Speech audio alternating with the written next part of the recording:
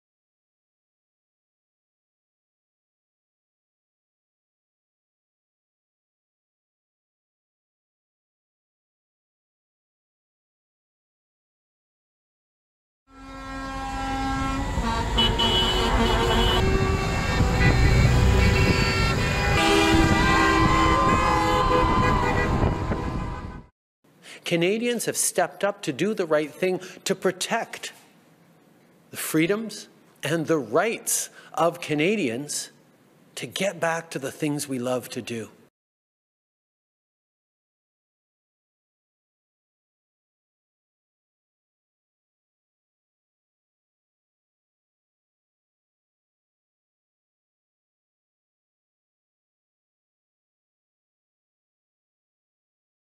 And then we were told, you get the vaccine.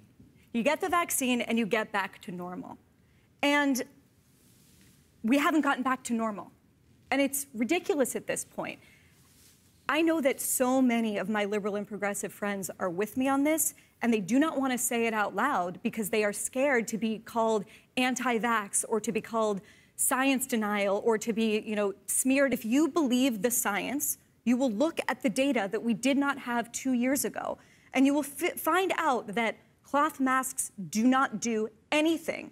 You will realize that you can show your vaccine passport at a restaurant and still be asymptomatic and carrying Omicron. And you will realize, most importantly, that this is going to be remembered by the younger generation as a catastrophic moral crime. At this point, it's a pandemic of bureaucracy. Thank you.